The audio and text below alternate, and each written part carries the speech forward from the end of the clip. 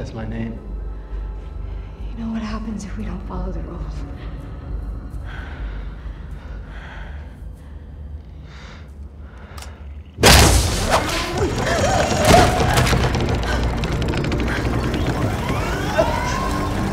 Hello, Mitch.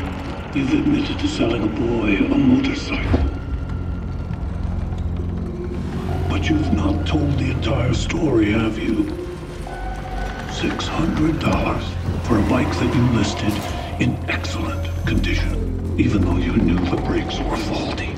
You took his 600 bucks, and in return you delivered him to his end.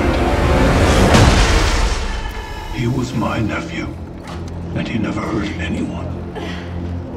The device you see here has a unique power source. It's the same engine that graced the bike you sold my nephew. However, I assure you, the brake lever for this one works perfectly. Look, you're, you're right. Avoid the dangers around you. Hit the motorcycle brake handle, and the motor will stop. Oh, shit! Live or die, Mitch.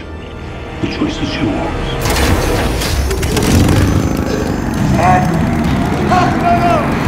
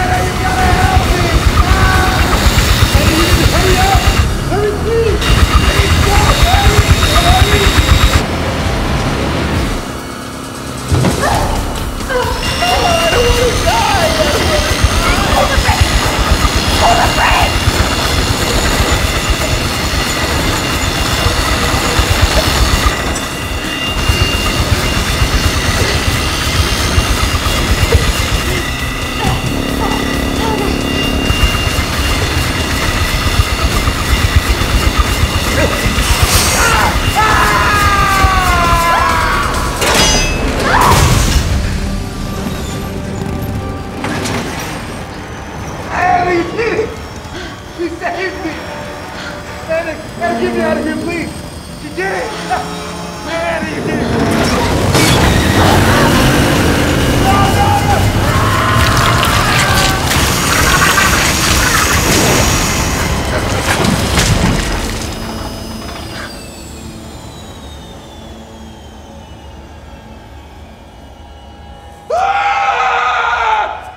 Edgar Munson was in a coma.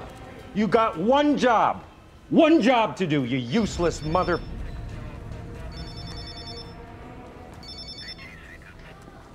Yeah, Anything? nothing. Pulled a Houdini, nobody saw shit. Just pulling Kramer's casket out now. Reporters? Yep. Good. And this nonsense once and for all. John Kramer's dead and has been for 10 years. None of this John Kramer bullshit.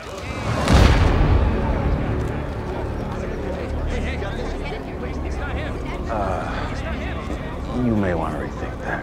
Why? What's going on? Let's just say you can call off the hunt for Edgar Munson. Come on. Okay, get a warrant for Bonneville. I'll see you there. What's the